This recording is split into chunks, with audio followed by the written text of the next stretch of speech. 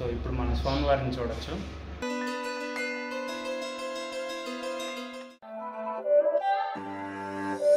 It's not a game, it's a rich thing.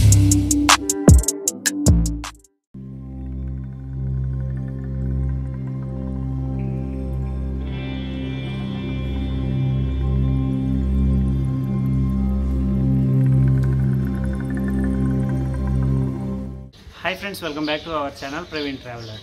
ఈరోజు వీడియోలో పిల్లల మరి గ్రామంలో ఉన్న ఎరకేశ్వర స్వామి ఆలయంకి వచ్చాం ఫ్రెండ్స్. ఈ ఆలయం సుమారు వెయ్యి సంవత్సరాల చరిత్ర కలిగినదని ఇక్కడ స్థానికులు మనకు చెప్పారు. సో ఈ గుడిని ఎక్స్ప్లోర్ చేసి చూద్దాం. ఈ గుడి చాలా పురాతనమైనది అలానే శిల్పకళ కూడా చాలా బాగుంది ఫ్రెండ్స్. ఇక్కడ ఉన్న స్వామివారిని ఎరకేశ్వర స్వామి అని ఇక్కడ వాళ్ళు పిలుస్తారు ఫ్రెండ్స్. ఇప్పుడు మనం సూర్యాపేట బస్ స్టాండ్ నుంచి ఐదు కిలోమీటర్ల ముందుకు వస్తే పిల్లలమర్రి గ్రామానికి వెళ్ళే ఆర్చిని చేరుకుంటాం. ఈ ఆర్చిలో నుంచి సుమారు మూడు కిలోమీటర్లు ప్రయాణిస్తే మనం ఆలయంకు చేరుకుంటాం.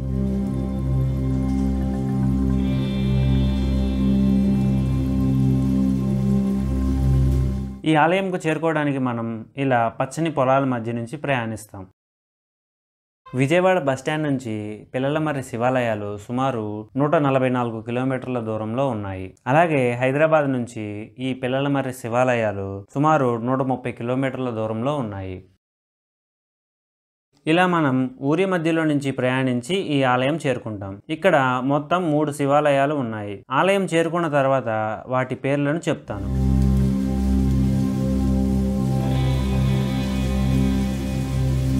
ఇలా మనం లోపలికి వస్తే ఇలా ఎడం వైపున నాలుగు కాళ్ళ మండపం కనిపిస్తుంది. అంటే మనం ఆలయంకు చేరుకున్నట్టే. ఇలా నాలుగు కాళ్ళ మండపం అలాగే వాటర్ ట్యాంక్ దగ్గర ఒక శివాలయం ఉంటుంది. ఈ శివాలయం నుంచి సుమారు ఐదు వందల మీటర్లు ముందుకు వెళ్తే ఇంకో రెండు శివాలయాలు కనిపిస్తాయి. ఇక్కడ ఉన్న శివాలయాల పేర్లను ఇప్పుడు చూద్దాం. శ్రీ ఎరకేశ్వర స్వామి ఆలయం అలాగే శ్రీ మహాదేవ నామేశ్వర స్వామి ఆలయం శ్రీ త్రికూటేశ్వర స్వామి ఆలయం అలాగే ఈ ఆలయాల దగ్గరే శ్రీ సరస్వతి సమేత బ్రహ్మ దేవాలయం కూడా ఉంది. ఈ వీడియోలో శ్రీ ఎరకేశ్వర స్వామి ఆలయంను చూపిస్తాను. మిగతా రెండు ఆలయాలను మరో వీడియోలో చూపిస్తాను. ఇప్పుడు మనం శ్రీ ఎరకేశ్వర స్వామి ఆలయంను చేరుకున్నాము.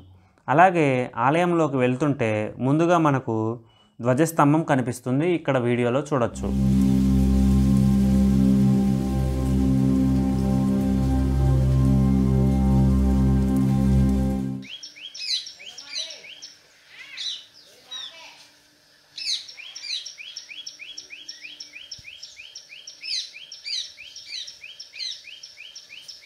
అతి ప్రాచీన దేవాలయం వందల ఏళ్ళ చరిత్ర. చరిత్ర దాంతోపాటు శిల్పకళ పోటీ పడుతూ అబ్బురపరిచే దేవాలయం. కాకతీయుల కళా వైభవంకు చిహ్నాలు ఈ దేవాలయాలు. శాస్త్ర సాంకేతిక రంగాల్లో ఎంతో పురోగమనం సాధించిన నేటి రోజుల్లో ఒక్కసారి వెనక్కి తిరిగి ఈ దేవాలయాలను చూస్తే ఆ నిర్మాణాలను పరిశీలిస్తే అప్పటి వారి పరిజ్ఞానం ఆశ్చర్యం కలిగిస్తుంది. అలాంటి ఆశ్చర్యపరిచే చక్కటి శిల్పకళలతో నిర్మించిన పిల్లల మర్రి ఎరకేశ్వర ఆలయంను ఈ వీడియోలో మీకు చూపిస్తున్నాను.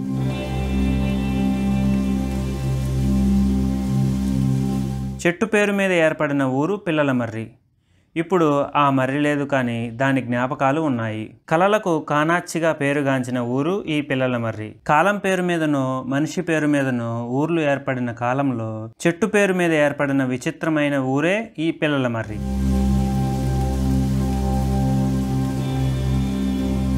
కాకతీయుల పాలనకు వారి కళాభిరుచికి మారుపేరుగా నిలిచింది ఈ ఊరు. ఈ ఊరులోని దేవాలయాలు. శివాలయాలకు నిలయం ఈ పిల్లలమర్రి గ్రామం. సూర్యాపేటకు సుమారు ఐదు కిలోమీటర్ల దూరంలో ఉంటుంది ఈ పిల్లలమర్రి గ్రామం. ఊరు ప్రాముఖ్యత కలిగిందే. అయితే అంతకంటే ఎక్కువగా ఇక్కడ ఉన్న గుడులు అంత పెద్దగా గుర్తింపుకు నోచుకోలేదు. వరంగల్లోని రామప్ప గుడికి ప్రతిబింబం లాగా ఉంటుంది. ఇక్కడ ఈ పిల్లల మర్రి ఎరకేశ్వర ఆలయం. ఒకప్పుడు ఈ ఊరు శారదాపీఠం అనే రాజ్యం అట కాకతీయుల కాలంలో ఉన్న శుభ సముద్రం వంద ఏళ్ళ చరిత్ర కలిగిన చెన్నకేశ్వర ఆలయాలు ఈ ఊరి ప్రత్యేకతలు. ఈ ఊరు కీర్తిశకం పన్నెండు వందల సంవత్సరాల క్రితం నాటిదని చెబుతుంటారు. మంచినీళ్ళ బాయి పక్కనే ఉండే మర్రి చెట్టు ఊడలు పిల్ల చెట్లు అయి ఏడు ఎకరాల్లో విస్తరించి పిల్లల మర్రి అయిందట. వందల ఏళ్ళ క్రితం వచ్చిన భూకంపంలో ఈ పిల్లల మర్రి చెట్టు కూలిపోయిందట. ప్రకృతి వైపరీత్యాలు పశుపక్షాదులు ముందుగానే తెలుస్తాయి అంటారు. అట్లా గోరింగ పక్షులు ఈ భూకంపాన్ని ముందుగానే పసిగట్టాయట. ఇంకొంచెం సేపట్లో భూకంపం వచ్చి ఈ చెట్టు కూలిపోతుంది. దాని కింద ఏడు కుప్పర్ల ధనం దొరుకుతుందని మాట్లాడుకుంటుంటే ఓ ఎరకలాయన విన్నాడట. ఆ విషయాన్ని ఆ సమయంలో అక్కడ ఉన్న బేతిరెడ్డి అనే రాజుకు చెప్పాడట. కొంచెం సేపటికి అక్కడ భూకంపం వచ్చింది. అలాగే అక్కడ ధనం దొరికిందట. అలా అక్కడ ఆ ఊరిలో దేవాలయాలను కట్టించారు అని స్థానికులు చెప్పుకునే కథ.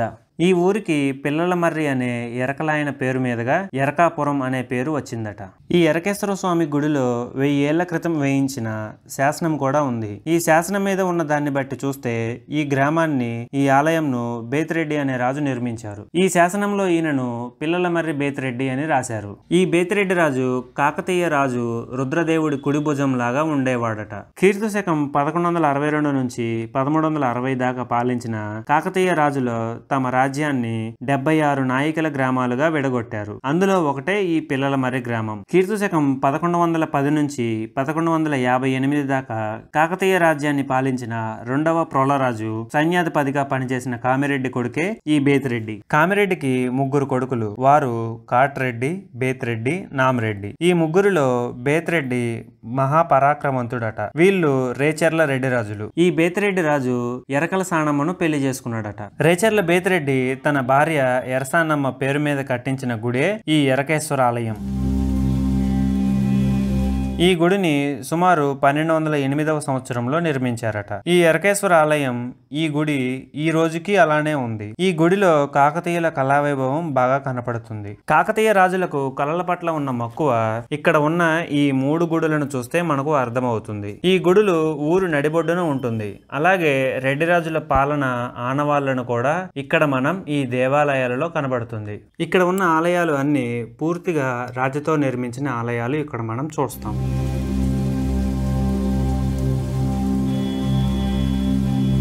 ఈ దేవాలయాన్ని దాని మీద ఉన్న శిల్పకళను చూడటానికి రెండు కళ్ళు సరిపోవు.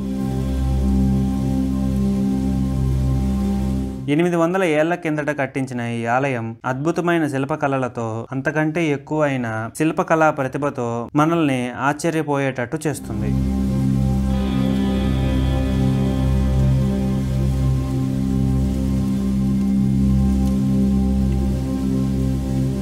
వందల ఏళ్ళైన చెక్కు చెదరకుండా ఉన్న ఆనాటి శిల్పుల గొప్పతనాన్ని వారి నైపుణ్యాన్ని చాటుతూ ఈ ఆలయాలు కనిపిస్తున్నాయి. ఈ ఎరకేశ్వర ఆలయంను మూడు అంతరాల మీద నిర్మించారు. మొదటి అంతరం గర్భగుడి చుట్టూ ఉంటుంది. అలా మనం ఈ గర్భగుడి చుట్టూ ప్రదక్షిణ చేయవచ్చు. రెండవది కేవలం మూడు వైపులు మాత్రమే ఉంటుంది. ఇంకా మూడో అంతరం మీద అందంగా ఈ ఆలయంను నిర్మించారు.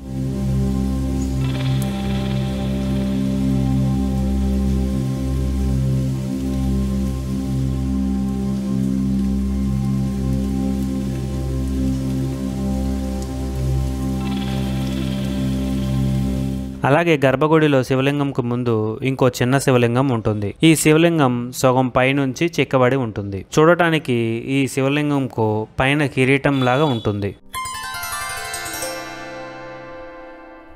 ఇక్కడ ఉన్న శివలింగాలు ఓ పక్కకు ఒరిగి ఉంటాయి. ఎందుకంటే ఇన్ని ఏళ్ళలో వచ్చిన ప్రకృతి వైపరీత్యాలను తట్టుకొని ఈ ఆలయాలు నిలిచాయి.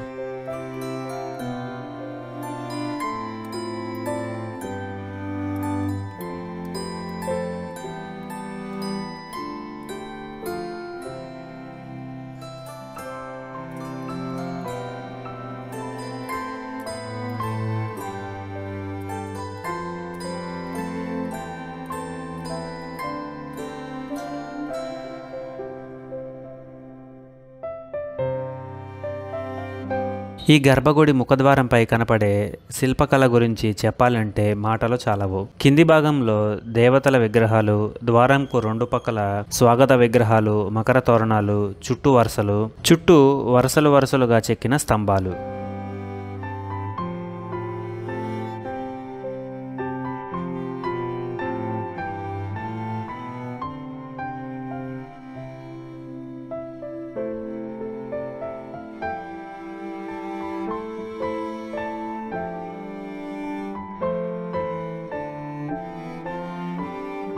ఈ ఆలయంలో మనం ఎనిమిది వందల సంవత్సరాల క్రితం తవ్వించిన బావిని కూడా ఇక్కడ మనం చూడొచ్చు. ఇక్కడ ఉన్న ఈ బావిని ఇప్పుడు మూసివేశారు కానీ ఒకప్పుడు గుడికి అవసరమైన నీటిని ఈ బావి నుంచే తోడుకునేవారట.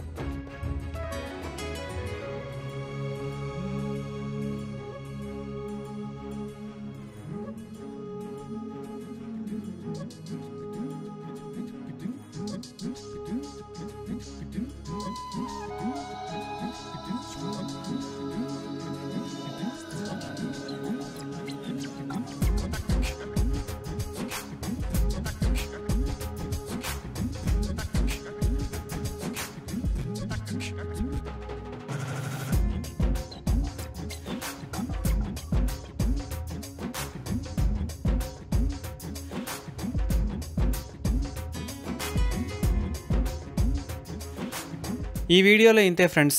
మీకు కనుక నా వీడియో నచ్చితే లైక్ చేయండి షేర్ చేయండి. అలాగే ప్రవీణ్ ట్రావెలర్ ఛానల్ను సబ్స్క్రైబ్ చేసుకోవడం మర్చిపోవద్దు. పక్కనే ఉన్న బెల్ ఐకాన్ని ప్రెస్ చేయడం ద్వారా నా నెక్స్ట్ వీడియో నోటిఫికేషన్ అనేది మీరు అస్సలు miss car. Thank you. Thank you for watching. Have a nice day.